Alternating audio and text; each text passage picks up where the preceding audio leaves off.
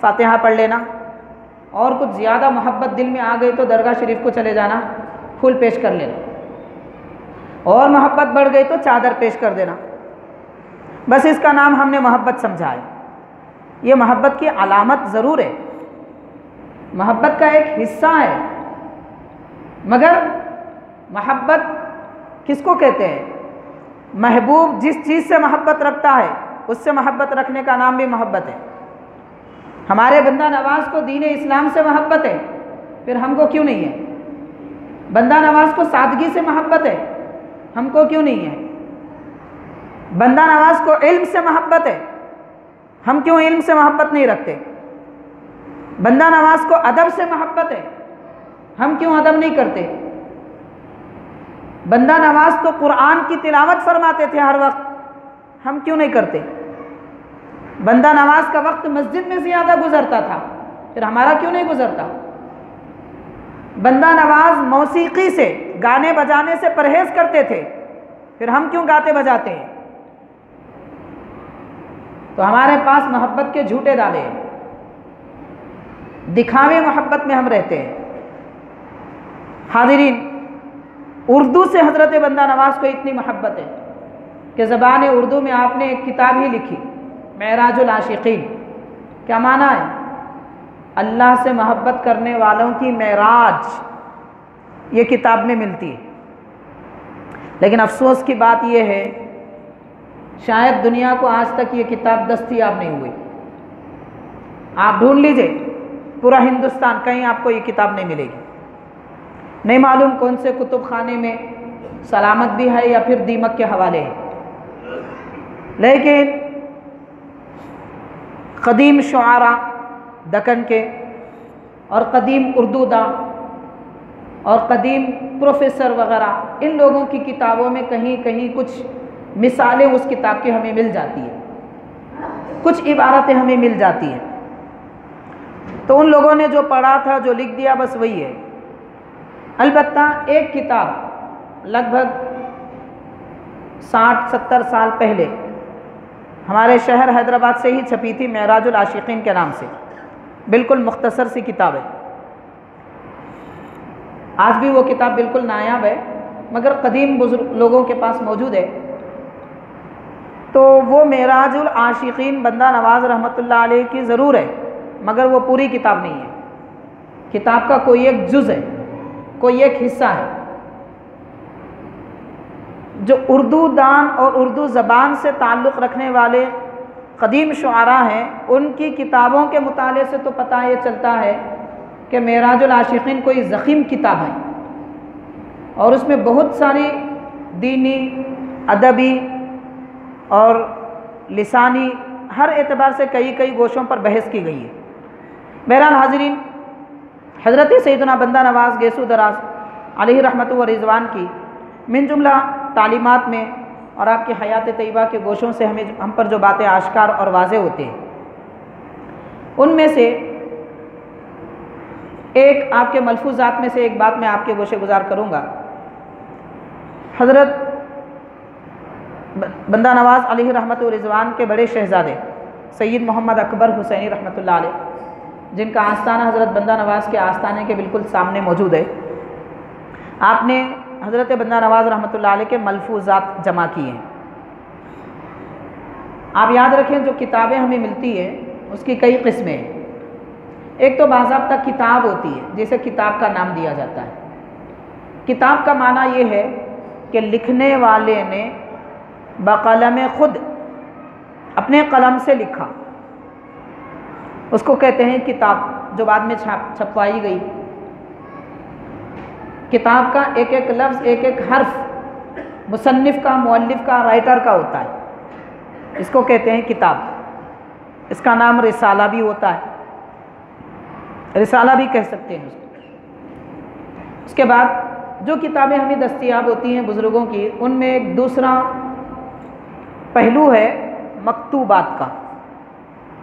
مکتوبات کا معنی یہ ہے، کوئی عالم، کوئی شیخ، کوئی مرشد، کوئی اللہ والے اپنے کسی بھی لوگوں کو جو خط لکھتے ہیں، خواہ اس میں نصیحت ہو، علم کی بات ہو، کچھ بھی ہو، تو یہ جو خطوط ایک جگہ جمع کر دیے جاتے ہیں، انہیں مکتوبات کہتے ہیں۔ اور ایک حصہ ہوتا ہے کتابوں کا ملفوظات۔ ملفوظات کا معنی یہ ہے کہ زمانہ قدیم سے یہ طریقہ جاری ہے۔ ایک اعتبار سے ہم یہ کہہ سکتے ہیں کہ حدیث شریف کی ساری کتابیں ملفوظات ہیں۔ کیونکہ حضور پاک صلی اللہ علیہ وسلم نے لکھا نہیں۔ اللہ کے حبیب صلی اللہ علیہ وسلم بیان فرماتے، صحابہ اکرام اسے لکھ لیتے۔ بلکہ ابتدائے زمانے میں تو لکھتے بھی نہیں تھے۔ کیونکہ حضور پاک صلی اللہ علیہ وسلم نے ابتدائے زمانے میں لکھنے سے منع فرمایا۔ آپ دیکھیے ہمارے آقا کی شان بھی کتنی نرالی ہے۔ پیارے آقا قرآن کو قرآن، حدیث کو حدیث رکھنا چاہتے تھے۔ اب میں ایک بات عرض کروں گا۔ قرآن قرآن ہے، حدیث حدیث ہے۔ یہ بات کیا صحابہ کرام کو سمجھ میں نہیں آتی تھی؟ نہیں آتی تھی۔ اس لیے نہیں آتی تھی کہ اللہ کا کلام، نبی کا کلام ایک جیسا ہوتا تھا۔ صحابہ اکرام فرق نہیں کر سکتے تھے کہ قرآن کون سا ہے، حدیث کون سی ہے۔ کیونکہ قرآن بھی جو جاری ہوا ہے نبی کی زبان سے تو کلام نبوی میں، کلام الہی میں فرق نہیں ہوتا تھا۔ اس لیے حضور پاک صلی اللہ علیہ وسلم نے فرمایا، لا تکتبو عنی۔ اے لوگوں، میں جب کچھ کہتا ہوں تو مت لکھو سوائے قرآن کے۔ قرآن کے سوا کچھ مت لکھو۔ اور جب قرآن ہوتا تو سرکار فرما دیتے یہ قرآن ہے۔ اس کو لکھو۔ اور یہ بھی فرماتے کہ یہ فلاں سورے میں ہے۔ یہ آیت فلاں سورے میں رکھو۔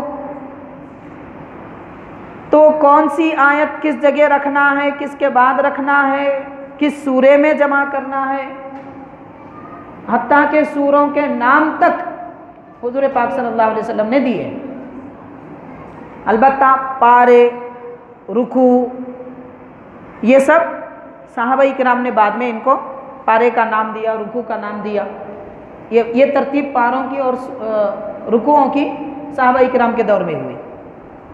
تو بعد میں حضور پاک صلی اللہ علیہ وسلم نے جب صحابہ کرام کو یہ سمجھ میں آ گیا کہ قرآن ایسا ہوتا ہے، حدیث ایسی ہوتی ہے، بڑا نازک فرق ہوتا تھا۔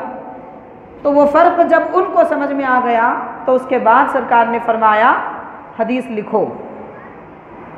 اس کے بعد سرکار نے خود فرمایا، حدیث لکھا کرو۔ تو اس کے بعد صحابہ اکرام حدیث لکھنے لگے۔ چنانچہ صحابہ اکرام کے ہاتھوں سے لکھی ہوئی حدیث کی کتابیں بھی موجود ہے ایسی بہت ساری کتابیں ہیں حدیث کی صحابہ اکرام کی جو لکھی ہوئی تھی۔ لیکن دنیا اسلام کو تابعین کے یعنی صحابہ سے سن کر جو تابعین نے لکھا تھا۔ وحب بن منبع ابو حریرہ رضی اللہ تعالیٰ عنہ کے شاگرد ہیں۔ ان کے ہاتھ کا لکھا ہوا قلمی نسخہ مختوطہ اس دنیا کو سب سے پہلے اگر کسی نے متعارف کرایا تو ہمارے جامع نظامیہ کے سپوت ہیں۔ حضرت ڈاکٹر حمید اللہ رحمۃ اللہ علیہ۔ جو فرانس میں اپنی زندگی گزارے۔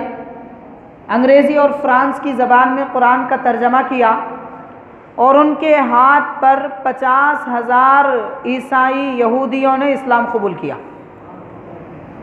ڈاکٹر حمید اللہ رحمۃ اللہ علیہ، انہوں نے دنیا کو سب سے پہلے بتایا، یہ جامع نظامیہ کے سپوت ہیں، جنہوں نے اپنی خدمتیں فرانس میں، امریکہ میں بھی انجام دی اپنا وطن چھوڑا۔ اور وہاں کی زبان سیکھی اور اس زبان میں قرآن کا ترجمہ بھی کیا اور اس قرآن کے ترجمے کو فرانس کی حکومت نے ایوارڈ بھی دیا کہ زبان فرانس میں سب سے بہترین ترجمہ قرآن پاک کا۔ تو صحابہ کرام حدیث لکھتے بھی تھے، لکھاتے بھی تھے۔ تو یہ جو ملفوظات، میں عرض کر رہا تھا، دراصل حضرت بندہ نواز رحمۃ اللہ علیہ کی کتابوں سے متعلق۔ تو ملفوظات، احادیث شریفہ بھی دراصل ملفوظات ہیں۔ اور کوئی بزرگ محفل میں جب بیٹھتے، لوگ ان کے پاس جمع ہوتے۔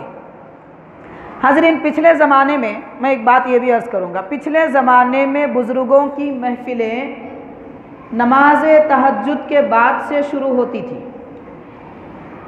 نماز عشاء کے بعد نہیں ہوتی تھی آپ اولیاء کی زندگی پڑھ لیجیے۔ پھر دیکھ لیں گے، آپ پتہ چلے گا۔ نماز عشاء کے بعد اولیاء اکرام محفلیں نہیں کرتے تھے۔ یہ آج ہے ہمارے پاس۔ شادیاں عشاء کے بعد، دعوتیں عشاء کے بعد، ولیمہ عشاء کے بعد عقیقہ عشاء کے بعد، جلسہ عشاء کے بعد، سب عشاء کے بعد۔ لیکن اللہ والے عشاء کے بعد کوئی محفل نہیں کرتے تھے۔ اللہ والے عشاء کے بعد سب سے الگ ہو کر ایک کمرے میں بیٹھ جاتے تھے، اللہ سے تعلق رکھتے تھے۔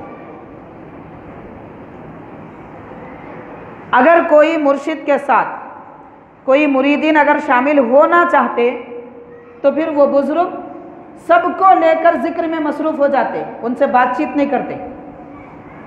سب کو لے کر ذکر میں مصروف ہو جاتے۔ ان کی رات اپنے یار کی یاد میں گزرتی تھی۔ لیکن دن کے اوقات میں، فجر سے پہلے، فجر کے بعد، مغرب کے بعد، نماز عصر کے بعد یا ظہر کے بعد، چاشت کے وقت آپ پڑھیے، بزرگوں کے ملفوظات پتہ چلے گا۔ لکھتے ہیں لکھنے والے ان کے جو شاگرد وغیرہ حضرات تھے۔ چاش کے وقت میں حضرت کی خدمت میں حاضر ہوا۔ اشراق کے وقت حاضر ہوا۔ دیکھیے انداز بھی کیسا نرالا ہوتا ہے۔ ظہر کے بعد حاضر ہوا۔ ایسا نہیں بولتے تھے، ایک بجے آیا، دو بجے آیا، چار بجے آیا۔ کہ آنے جانے کے لیے ہمارے پاس گھنٹے مقرر ہوتے ہیں۔ اور پہلے زمانے میں مسلمانوں کے پاس نماز کا وقت مقرر ہوتا تھا۔ کیونکہ وہ نمازی تھے اور ہم گھنٹے والے۔ اس لیے ہم گھنٹوں کی بات کرتے ہیں۔ وہ نمازی تھے، اسی لیے نمازوں کی بات کرتے تھے۔ بہرحال ان کی اور ہماری زندگی کا رخ ایک دم بدل چکا ہے۔ وہ کیا تھے؟ نہیں معلوم، ہم کیا ہیں پتہ نہیں۔ اب تو حال ایسا ہو چکا ہے، افسوس کی بات ہے۔ جمعہ کا دن ہے، مگر مسلمان کاروبار کرتے ہیں۔ جمعہ کے دن مسلمان کاروبار کرے گا، تعجب کی بات ہے۔ پھر جناب اتوار کے دن کیا کر رہے ہیں آپ؟ کاروبار بند کر کے سو رہے ہیں۔ جو کاروبار آپ اتوار کے دن بند کر رہے ہیں، وہ جمعہ کو کیوں بند نہیں ہوتا؟ کم از کم وہ لوگ تو جن کا کاروبار اپنا ذاتی ہے۔ جن کا کاروبار اپنا ذاتی ہے، وہ کیوں ایسا نہیں کر سکتے؟ نہیں، مارکیٹ کا طریقہ ہے۔ آپ مارکیٹ کے طریقے پر نہ چلیے، مارکیٹ کو اپنے طریقے پر چلائیے۔ تب کہا جا سکے گا کہ آپ مسلمان ہیں۔ پیچھے چلنے والے کو مسلمان نہیں کہتے، پیچھے لوگوں کو لے کے چلنے والے کو مسلمان کہتے۔ مسلمان پیچھے نہیں رہتا، مسلمان ہمیشہ آگے رہتا ہے۔ تو یہ ہمارے بزرگوں کے طریقے تھے۔ تو محفلوں میں اللہ کے نیک بندے جو باتیں بتاتے، فرما دیتے، ارشاد فرماتے، اس کو ان کی محفل میں بیٹھ کر ان کے مریدین خود لکھنے لگتے تھے۔ ادھر حضرت فرماتے، ادھر لکھتے۔ یا پھر غور سے سنتے، بعد میں تنہائی میں جا کر لکھ لیتے تھے۔ تو یہ جو سنی ہوئی بات لکھی جاتی ہے، ان کو کہتے ہیں ملفوظات۔ حاضرین، ملفوظات اللہ کے نیک بندوں کی بہت ساری ہیں اور خاص طور پر یہ ہندوستان کے جو اولیاء کرام گزرے ہیں، ان کے ملفوظات ہمیں زیادہ ملتے ہیں۔ باقی دیگر حضرات کی کتابیں زیادہ ملتی ہیں، لیکن ہندوستان میں خاص طور پر یہاں کے اولیاء اکرام کے ملفوظات زیادہ ملتے ہیں۔ اس کی بہت ساری وجوہات ہیں۔ ایک وجہ تو یہ ہے کہ یہاں اولیاء کرام کی بڑی کثرت گزری ہے۔ بہت زیادہ اولیاء کرام گزرے ہیں۔ اور یہاں کے اولیاء کرام، مان لیجیے کہ آج سے تقریباً چار سو سال پہلے تک بھی یہاں کے اللہ کے نیک بندے کتابوں پر کم، دلوں پر زیادہ کام کرتے تھے۔ یعنی دلوں کی صفائی کا اہتمام زیادہ کرتے تھے۔ اس لیے کہ ہندوستان میں اگر تاریخ کے حساب سے دیکھا جائے تو حضرت آدم علیہ السلام کے زمانے سے لے کر صحابہ کرام کا یہاں آنا اور اس کے بعد حضرت غریب نواز رحمۃ اللہ علیہ کا تشریف لانا، اس زمانے تک کفر اور شرک ہی تھا، کچھ نہیں تھا۔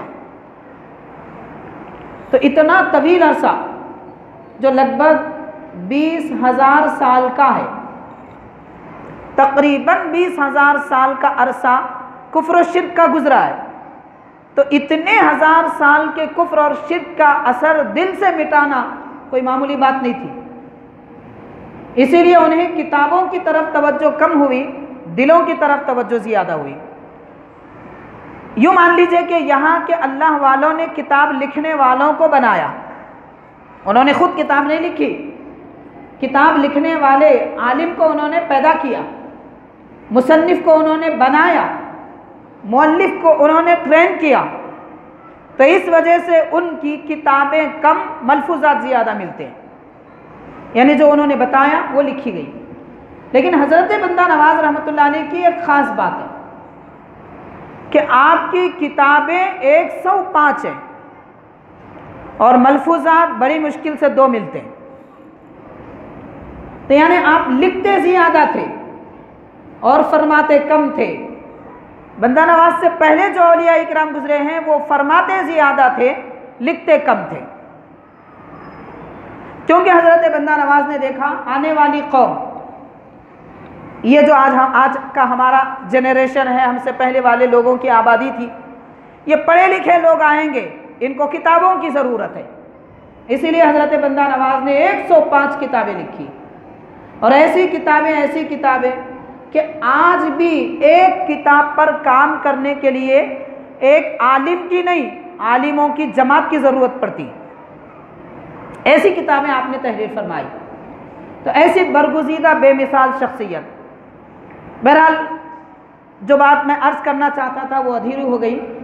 حضرت بندہ نواز رحمۃ اللہ علیہ نے اپنی ساری زندگی، اپنی ساری زندگی میں سب سے اہم ترین سبق اگر مسلمانوں کو دیا ہے تو وہ یہ ہے کہ لوگوں، علم سیکھو، لکھو، پڑھاؤ۔ پڑھانے، لکھنے کی آپ نے بات کی ہے۔ آپ نے دوسرے اور چیزوں کی طرف توجہ کم فرمائی۔ اسی لیے آپ نے ایک سو پانچ کتابیں تحریر فرمائی۔ ایک آخری بات عرض کروں گا۔ حضرت سیدنا بندہ نواز رحمۃ اللہ علیہ کا مقام عالی کیا ہے، اس کو ہم سمجھ سکتے ہیں۔ آپ کے خود ملفوظات میں موجود ہے کہ حضرت بندہ نواز رحمۃ اللہ علیہ فرماتے ہیں، ایک مرتبہ حضور پاک علیہ السلاۃ والسلام کے دربار عالی میں حاضری کا موقع ہوا۔ اور کئی ایک روحانی مقدس بزرگ حضرات کی جماعت موجود ہے۔ اس میں بتایا گیا کہ انبیاء کرام بھی تشریف لائے ہیں اور قدیم زمانے کے اولیاء کرام، صحابہ کرام وغیرہ بھی موجود ہیں۔ اس کے بعد اللہ کے حبیب علیہ السلاۃ والسلام کی خدمت میں کچھ کپڑے لائے گئے۔ جبے تھے، دستار جسے کہتے ہیں، جبے تھے، دستار تھی۔ تو سرکار دو عالم صلی اللہ علیہ وسلم نے قیام فرما ہو کر ایک پہلے جبہ آپ نے نکالا، کھولا اور حضرت بندہ نواز کو طلب فرمایا، سید محمد ادراؤ آپ حاضر خدمت ہوئے۔ تو سرکار نے اپنے دستے مبارک سے جبہ پہنایا اور فرمایا کہ مبارک ہو، یہ نبوت کا، یہ نبوت کا جبہ ہے۔ پھر اور ایک جبہ نکالا اور پنا پہنا کر فرمایا کہ مبارک ہو یہ رسالت کا جبہ ہے۔ پھر اور ایک نکال کر فرمایا کہ یہ قطبیت کا جبہ ہے قطب ہونے کا ہے۔ اور ایک پہنا کر فرمایا کہ یہ ولایت کا جبہ ہے۔ اس کا معنی کیا ہے؟ تو آپ کے ملفوظات لکھنے والے بزرگ حضرات خود ارشاد فرماتے ہیں، سرکار دو عالم صلی اللہ علیہ وسلم نے یہ ارشاد فرمایا کہ حضرت سید محمد گیسو دراز حسینی رحمۃ اللہ علیہ پر سرکار فرما رہے ہیں کہ میری نبوت و رسالت کا فیضان راست ہے۔ ڈائریکٹ میں اپنی نبوت کا فیضان، اپنی رسالت کا فیضان دیتا ہوں۔ اور اللہ نے آپ کو خود قطب بنایا اور آپ کو ولایت کا تاجدار بنایا۔ تو ایسا مقام عالی پروردگار نے حضرت بندہ نواز گیسو دراز رحمۃ اللہ علیہ کو بنا کر اس دنیا میں بھیجا ہے۔ حاضرین، ایسے اولیاء کرام کی عجب شان ہوتی ہے اور ان کی زندگیوں کا ہمیں کوئی پتہ نہیں ہوتا، ان کے حالات کو ہم سمجھ نہیں سکتے۔ ہاں اتنی بات ہم ضرور سمجھ سکتے ہیں کہ انہوں نے عبادت کیسے کی، ان کے اخلاق کیسے تھے، وہ بات کیسی کرتے تھے، مہمان نوازی کا طریقہ کیا تھا، لوگوں کے دلوں کو کس طرح بدلتے تھے، پڑوسیوں کا حق کیسے ادا کرتے تھے رشتہ داروں سے محبت کے ساتھ، سلوک کے ساتھ کیسے پیش آتے تھے؟ یہ پاک باز زندگی، ان کی زندگی کا یہ پہلو ایسا ہے کہ ہم اس کو سمجھ بھی سکتے ہیں، اس پر عمل بھی کر سکتے ہیں۔ چنانچہ آج مسلمانوں کو چاہیے کہ کرکٹرز کی زندگی پڑھنا چھوڑیں اور ایسے میگزین پڑھنا چھوڑ دیں یا ایسے ویب سائٹس دیکھنا چھوڑ دیں جس میں فلم ایکٹرز کی زندگی ملتی ہے۔ آپ اگر پڑھنا چاہتے ہیں تو غوث اعظم کی زندگی پڑھیے۔ آپ اگر پڑھنا چاہتے ہیں تو غریب نواز کی حیات کی کتابیں پڑھیے۔ آپ کو اگر کچھ پڑھنا ہی ہے تو جناب اخبار پڑھنا چھوڑیے۔ کیوں اپنا دل میلا کرتے ہو؟ کیا ملے گا اخبار میں پڑھ کے؟ یہی کہ وہاں قتل ہوا، یہاں ایکسیڈنٹ ہوا، یہ جگہ بم ڈال دیا ڈال دیا گیا۔ اور یہ سیاسی لیڈر نے اس کو ایسی گالی دی اور وہ سیاسی لیڈر نے اس کی ایسی بے عزت اتاری۔ کیا ملنے والا ہے یہ سب پڑھ کے؟ کیا ملے گا فوٹوز دیکھ کر کہ یہ جناب اس کی گل پوشی کر رہے ہیں، یہ جناب اس کو شال پہنا رہے ہیں؟ کیا زندگی اسی کا نام ہے؟ آخر ہم کب اللہ والوں کی زندگی پڑھیں گے؟ کب ہمارا دل اللہ کے نیک بندوں کی سیرت پڑھنے کی طرف مائل ہوگا؟ پڑھ کر دیکھیے زندگی میں ہر دن ایک دن، ہر دن ایک مرتبہ کم از کم ایک صفحہ تو اللہ والوں کی زندگی کا پڑھیے۔ پھر دیکھیے کہ آپ کے دل کو کیسی زندگی ملتی ہے۔ باقی دنیا کی ساری خبریں پڑھنے سے دل میلا، کچیلا ہو جاتا ہے۔ اللہ والوں کی زندگی پڑھنے سے دل کو زندگی ملتی ہے۔ تو ہم اپنا قلب اگر زندہ رکھنا چاہتے ہیں، تو اللہ والوں کی حیات پڑھیں، سنیں اور ان کے آستانوں میں حاضری دیا کریں۔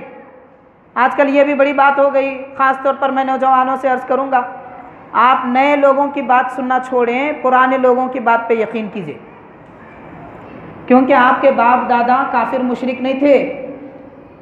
ہاں وہ اچھے مسلمان، آپ سے اچھے مسلمان تھے۔ یہ مت سمجھیے کہ وہ ہم سے برے تھے۔ یہ جو پہلے جو گزر چکے ہیں، وہ ہم سے لاکھوں درجے اچھے۔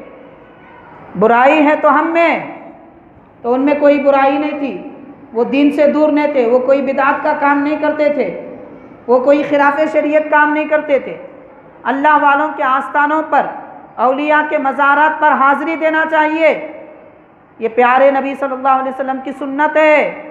بخاری میں ذکر ملتا ہے، مسلم میں موجود ہے۔ مسند امام احمد میں کون سی حدیث کی کتاب ہے جس میں یہ نہ بیان کیا گیا ہو کہ اللہ کے نبی نے جنت البقی کی زیارت نہ کی۔ صحابہ کے مزارات پہ تشریف نہیں لے گئے۔ امیر حمزہ رضی اللہ تعالیٰ عنہ کے مزار کی زیارت کی۔ دیگر آپ کے چچا حضرت عثمان بن مضعون رضی اللہ تعالیٰ عنہ کی زیارت کی۔ کتنے صحابہ اکرام کی سرکار نے ان کے قبروں پر تشریف لے جا کر زیارت کی۔ حدیث پاک میں سب ملتا ہے۔ تو اس سے ثبوت ملتا ہے کہ اللہ والوں کے آستانوں پر حاضری دینا چاہیے۔ ہاں یہ اور بات ہے کہ وہاں پر جا کے غیر شرعی کام نہ کریں۔ جیسے لوگ کرتے ہیں، سیدھا سجدہ کر دیتے ہیں۔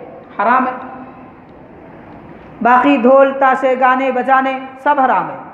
اسلام شریعت اس کی اجازت نہیں دیتی، یہ لوگوں کے بنائی ہوئی باتیں ہیں۔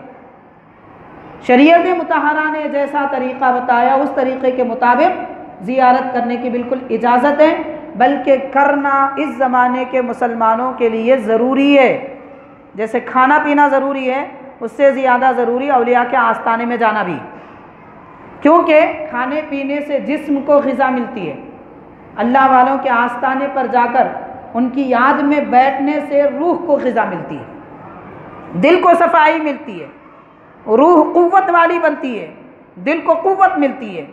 تو اسی لیے اللہ والوں کے آستانے پہ حاضری غیر شرعی امور کی پابندی کے بغیر اور اس کو چھوڑ کر دینا چاہیے۔ بہرحال اللہ والوں کی زندگی ہمارے لیے نمونہ عمل ہے۔ اللہ تعالیٰ نے ان کی صحبت میں بیٹھنے، رہنے کا ہمیں حکم بھی فرمایا، جیسا کہ قرآن پاک میں ذکر فرمایا۔ اے ایمان والو، اللہ سے ڈرو، صالحین کی صحبت میں رہو۔ اللہ تعالیٰ ہمیں ان بزرگوں کا فیضان عطا فرمائے اور جو کچھ ہم نے کہا، سنا، اس پر عمل کی توفیق دے۔ صلی اللہ تعالیٰ وسلم علی خیر خلقی سیدنا محمد علیہ واصحاب اجمعین۔ الحمد للہ رب العالمین۔